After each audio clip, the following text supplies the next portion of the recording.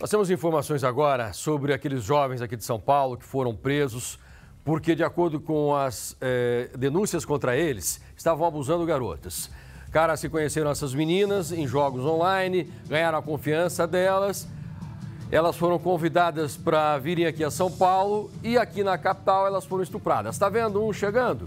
São todos jovens, eh, dentro de casa se comportam bem de acordo com os pais, estavam no colégio mas é aquela história que pai não sabe o que, que essa garotada faz quando está online. Não tem noção do que eles aprontam, com quem eles conversam, qual é o tipo de sentimento que eles têm, do caráter que eles têm. Quatro suspeitos estão na cadeia, três já tinham sido presos, o quarto decidiu se entregar porque ele viu que o cerco estava fechando. Mas para fazer esse tipo de coisa, viu, Jorge, eu tenho certeza que muitos pais vão dizer: ah, mas veja bem, é porque meu filho foi incentivado. Para chegar a, a esse cúmulo, o cara tem mau caráter. Não dá para você imaginar que alguém vai estuprar uma garota, vai mentir, vai atrair a menina aqui para São Paulo, depois vai forçar um sexo. Imaginar que esse cara só fez isso porque ele foi incentivado pelos amiguinhos. Nossa, eu tenho comigo, sabe, que as pessoas sabem o que é certo e sabem o que é errado. E aí fazem a sua escolha. Passa, é assim que eu vejo. É simples assim. Eu concordo, porque já tem pais se manifestando, sabe? É, mas o meu filho sempre foi bacana. Sim, claro, porque tem muitos jovens que ficam aí na internet jogando eles vão para o colégio, às vezes tiram notas boas, mas você não sabe o caráter que ele tem. Um cara egoísta, que dá resposta atravessada, que não se importa com a família. Não adianta agora falar que ah, foi porque o amiguinho incentivou. É, é mais fácil ter o filho estar tá incentivando outras pessoas do que o contrário. Esse tipo de.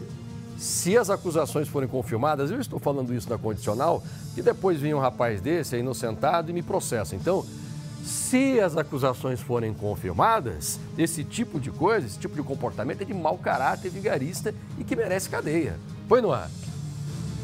DP é o quarto preso suspeito de integrar uma quadrilha que aliciava, estuprava, ameaçava jovens e adolescentes através de um aplicativo de mensagens de jogos.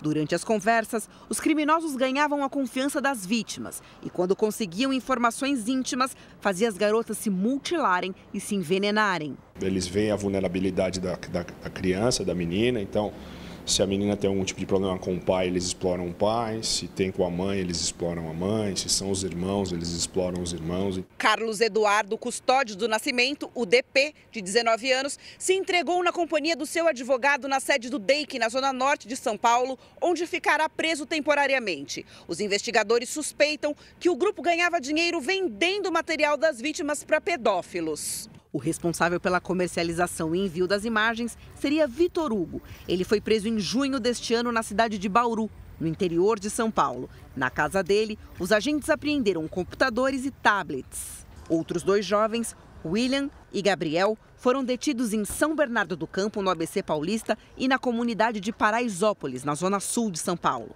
Após a prisão de William Maza, a deputada federal Duda Salabert publicou em sua conta oficial do Twitter um desabafo, dizendo já ter sido ameaçada de morte pelo homem, várias vezes durante a sua campanha em 2020. Diante das denúncias, o Ministério Público de São Paulo instaurou um inquérito civil para apurar a falta de segurança na plataforma Discord, ambiente virtual utilizado pelos criminosos para abordar essas vítimas. As investigações começaram em abril depois de uma denúncia de duas jovens, uma de Santa Catarina e outra do interior de São Paulo. A polícia suspeita que os criminosos fizeram mais de 20 vítimas. Nós trabalhamos com a ideia de que exista duas dezenas de vítimas. E investiga também a participação do grupo em homicídios. A Polícia Civil vai dar continuidade às investigações para saber se a quadrilha cometeu outros crimes e vai ter mais gente presa a qualquer momento. Escuta o que eu estou te falando. Tem repórter nosso na porta da delegacia conversando com investigadores. A qualquer momento vai pingar mais peixe, tá? Tem mais gente para ser retirada desse aquário. São jovens sem vergonhas, não merecem de maneira alguma a nossa misericórdia. Tem que pagar por isso. E volto a dizer, porque eu conheço as leis, estou colocando na condicional se forem confirmadas as acusações, mas a polícia diz que já tem muita prova. Então, sendo confirmadas as acusações, esses caras merecem cadeia sim. Tem esse negócio. Eu sei que papai e mamãe tentam se enganar, mas coitado, tadinho uma ova. Coitada da vítima. Essa sim é uma coitada, infelizmente foi iludida.